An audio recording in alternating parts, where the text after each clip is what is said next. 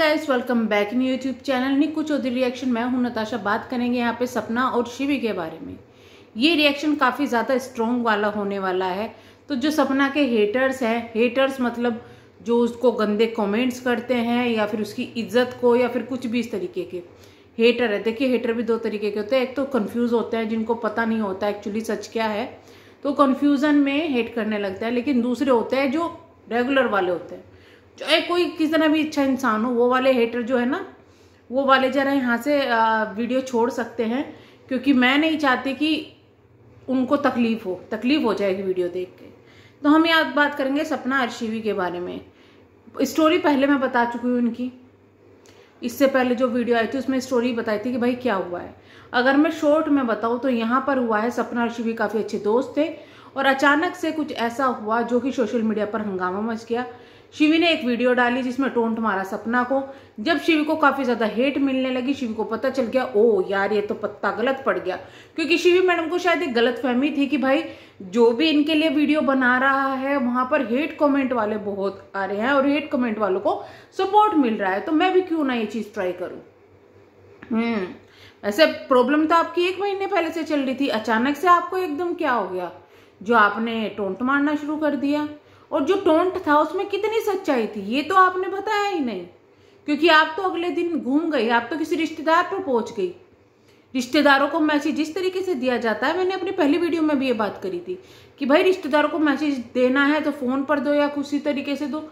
इस तरीके से सोशल मीडिया पर कौन से रिश्तेदारों को ताना मारा जाता है रे? सबको पता है, इतना बेवकूफ़ कोई नहीं है, तुम जो इतनी झूठ बोलती हो।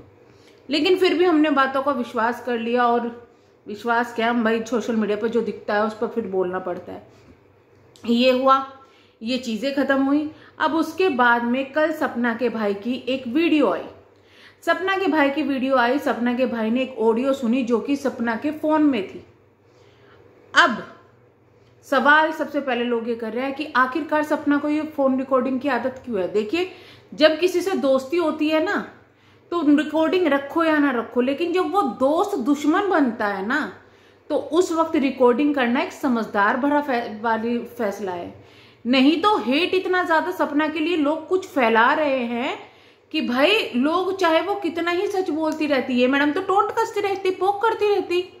इनको गलत फहमी थी शायद कि सपना के पास कुछ भी नहीं है। तो इसलिए इन्होंने पोक किया था क्योंकि सपना बोल ही नहीं रही है। इसलिए पोक किया था ना तुमने? इसलिए तुमने डबल गेम खेला यहाँ पे। लेकिन हुआ क्या ये कि भाई ऑडियो हाथ लग गई सपना के भाई की। ओबियस सी बात है, भाई को गुस्सा आएगा। और हो ना हो, वो गाली वाली रिकॉर्डिंग भी इनके पास में है। इन्होंने चलाई नहीं है। इन्होंने चलाई नहीं है, हो ना हो गाली वाली रिकॉर्डिंग भी पास में है। तो ये बहुत अच्छा किया सपना ने रिकॉर्डिंग रख ली। और सपना ने रिकॉर्डिंग अपने भाई को नहीं दी, वो एडिटिंग कर रहा था मोबाइल में रिकॉर्डिंग थी तो उसको मिल गई। उसने बताया है किस तरीके से मिली है। और अगर सपना देती भी ना अपने भाई को कि देख भाई मुझे गाली दे रहा है, ये हुआ मेरे साथ में वहाँ पे, इसलिए मैंने वहाँ से छोड़ा, इसलिए मैं यहाँ हुई। इसलिए तो सपना कह रही थी कि मुझे धमकियाँ मिल रही है, धमकियाँ मिल रही है। तुम गाली दोगे एक औरत को? बेशरम लोगो? भाई बोलते थे तुमको वो, गाली दोगे तुम?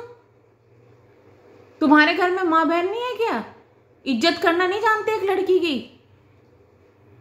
तुम्हें पता है कितनी तकलीफ़ में है, क्या उसके ऊपर गुजर रही है?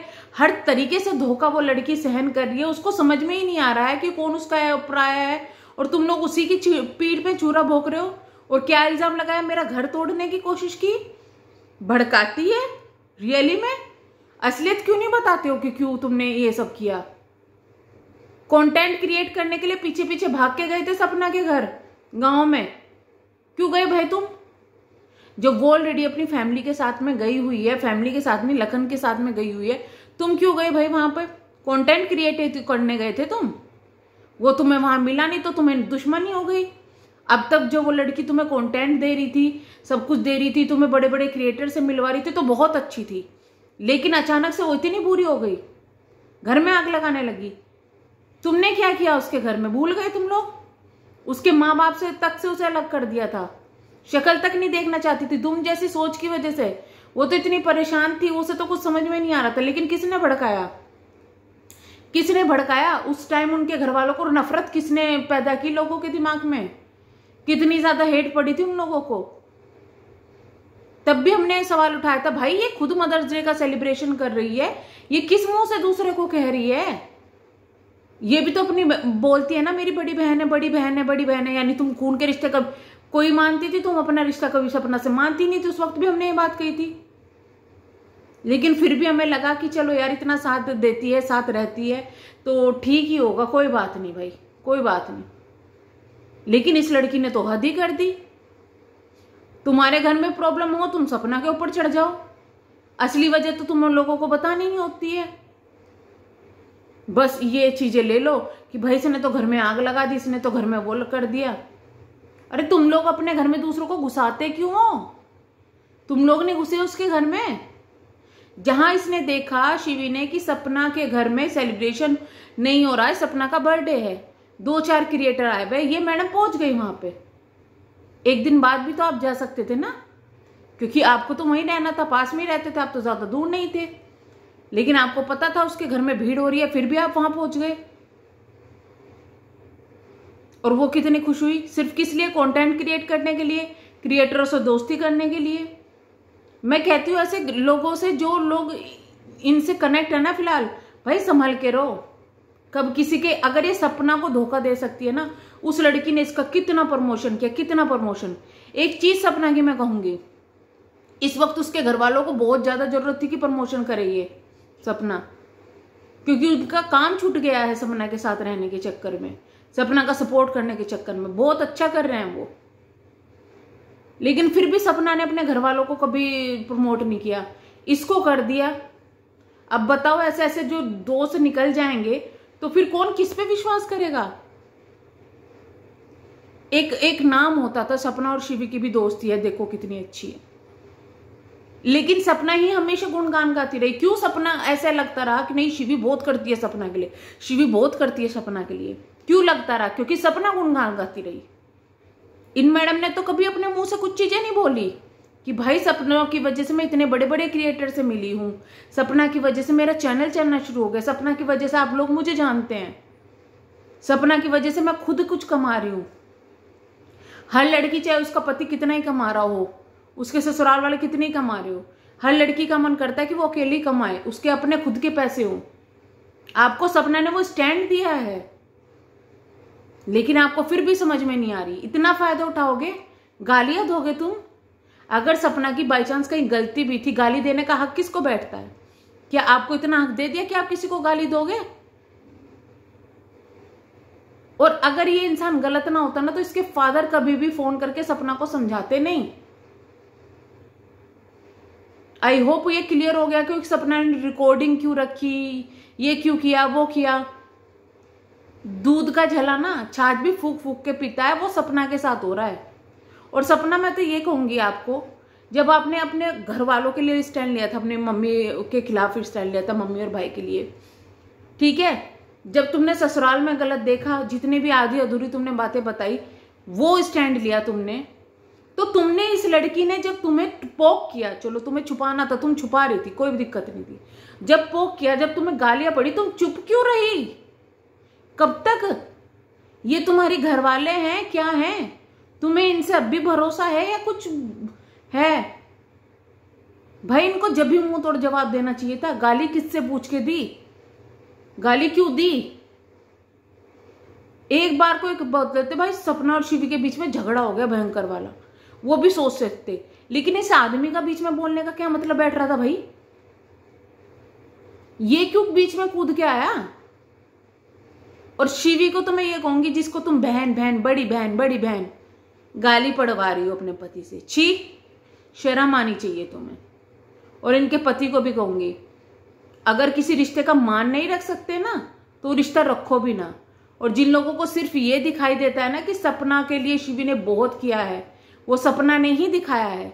वरना आप लोग भूल गए होंगे जब शिवी सपना की शादी हुई थी, किसको टाइमलाइन मिली थी? सपना के साथ, शिवी को। उसके बाद जब ये लोग कहीं घूमने भी जाते थे तो शिवी को साथ लेके जाते थे। राजीव जी के साथ जब जाते थे, हर एक फ़ंक्शन में शिवी को बुलाते थे। कभी शिवी की वीडियो पहले आ जाती थी, सपना बाद में डालती थी, लेकिन कभी कुछ नहीं किया। कुछ नहीं कहा। सपना ने हमेशा इसका प्रमोशन किया, हमेशा इसको सपोर्ट किया। तो ये चीज़ें कम नहीं होती जितना सपना ने किया, लेकिन उसकी चीज़ों को गया ही नहीं गया। इसलिए लोगों को एहसास ही नहीं हुआ कि हाँ भाई, किया है। और उस भाई के लिए भी मैं कहूँगी कि आज तुमने इतना अच्छी तरीके से स्टैंड लिया है ना, अब इसी तरीके से स्ट्रोंग रहो। अब सपना को एक स्ट्रोंग भाई की ज़रूरत है। जैसे अब बने हो ना, उसकी ज़रूरत है। बहुत अच्छा किया तुमने ये वीडियो सामने लाके।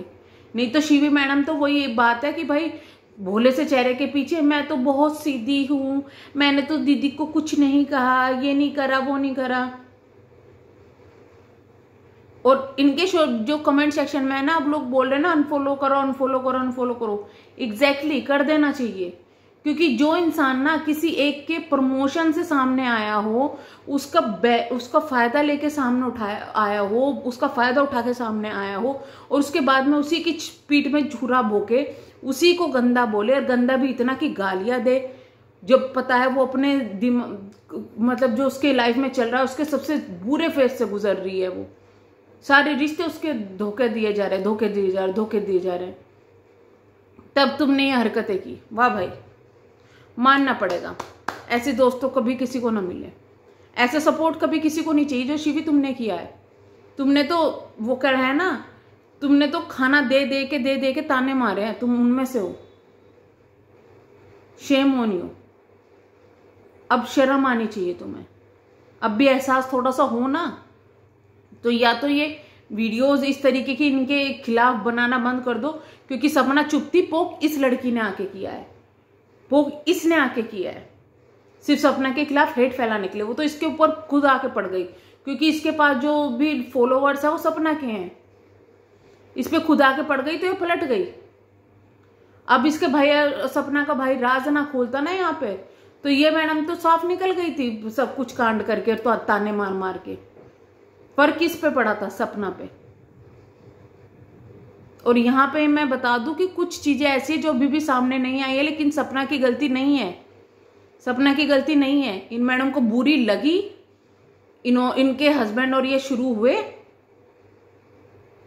बाकी बहुत सारी चीज़ें अभी सामने आने बाकी है और आएगी धीरे धीरे फ़िक्र मत करो। तो चलिए हम करते हैं वीडियो को एंड, मिलेंगे हम नेक्स्ट वीडियो में।